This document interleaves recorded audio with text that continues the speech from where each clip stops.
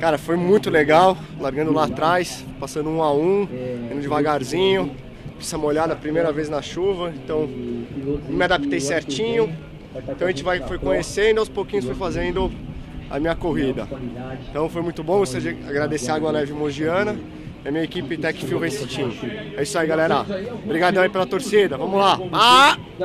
Foi muito boa, eu larguei lá atrás, porque ontem eu não consegui fazer um qualificatório muito bom, tava com problema nos pneus, mas consegui fazer uma boa largada, vim passando vários pilotos e consegui impor um ritmo forte. Cheguei a liderar a corrida em alguns momentos, mas no final o Bruno fez uma grande ultrapassagem, a gente disputou lado a lado na chegada e acabou ficando com a primeira colocação. Parabéns pro Bruno Bruno, fiquei em segundo. E foi uma coisa muito boa. Queria agradecer aos patrocinadores Nova Moto Store, New Dog, agradecer a equipe da Boi Motos, que sempre trabalhou muito bem na minha moto. E é isso aí. Obrigado, pessoal.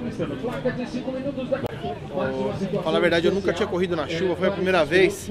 E o treino foi um treino só na chuva, né? A gente não conseguiu treinar, tem um treino no seco na chuva. Graças a Deus no treino consegui muito bem. Eu consegui fazer a pole, sair na frente. Até na quinta volta estava em primeiro lugar, estava conseguindo administrar bem a corrida, apesar de um monte de moto voando, um cara caindo, porque chovendo muito. Aí minha viseira começou a embaçar, aí meu rendimento começou a cair, daí foi complicado, que eu não consegui mais manter o ritmo que eu estava mantendo. E aí acabei em terceiro lugar, mas para mim já foi uma vitória porque pelas dificuldades que estava a corrida, a chuva, eu só tenho a agradecer só. E bacana, agradecer a minha esposa, meus filhos que estão aí me assistindo, o pessoal lá do BMX Racing, da Jacuí. Valeu. Valeu.